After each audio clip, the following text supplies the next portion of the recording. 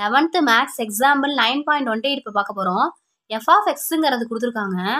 Next என்ன calculate பண்ண சொல்லியிருக்காங்கன்னா minimum light and maximum light வந்து கால்குலேட் பண்ண சொல்லியிருக்காங்க.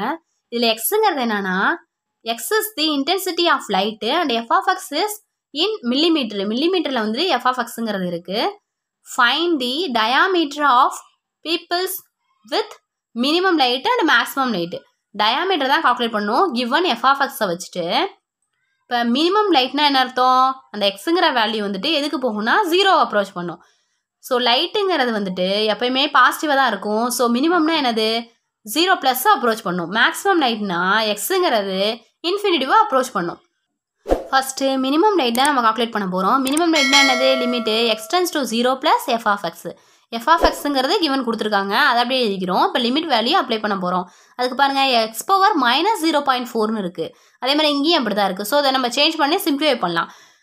ஸோ டிவிட பை எழுதிக்கலாமா? டிவிட பை எழுதணும்னா one sixty divide by x power zero point ஃபோர்னு வந்துடும் ப்ளஸ் நைன்ட்டி இங்கே four divide by x power zero point four plus ஃபிஃப்டின்னு நம்மளுக்கு கிடச்சிரும்.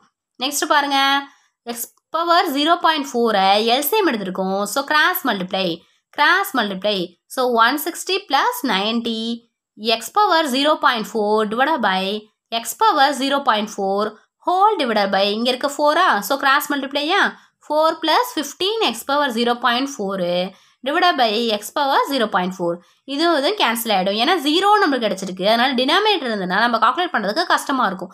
ஸோ அதனால் நம்ம என்ன பண்ணுறோன்னா எக்ஸ் பவரில் இருக்கிறத ஈக்குவலாக எடுத்து கேன்சல் பண்ணுறோம் இப்போ என்ன கிடச்சிருக்கு?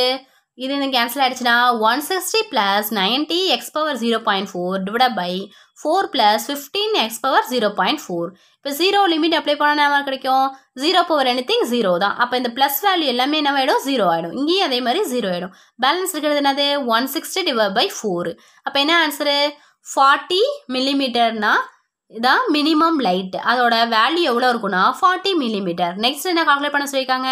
மேக்ஸிமம் லைட்டு இப்போ மேக்ஸிமம் லைட்டு எவ்வளோ தூரம் இருக்கும் அப்படின்னு பார்க்குறோம் limit x tends to infinitive f of x இப்போ limit x tends to infinitive f of என்னது? கிவன் ஃபங்க்ஷன் கொடுத்துருக்காங்க. இதில் என்னன்னா இன்ஃபினிட்டிவ்னு கொடுத்துருக்காங்க.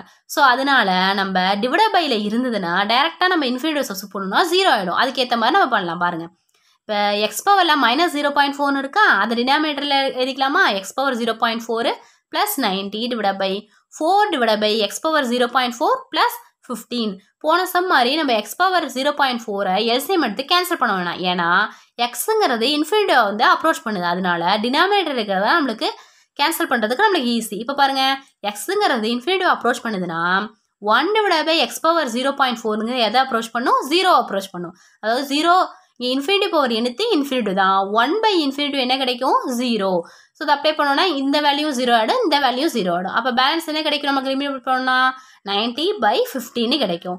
So six fifteens or ninety so the maximum light values six millimetre is the answer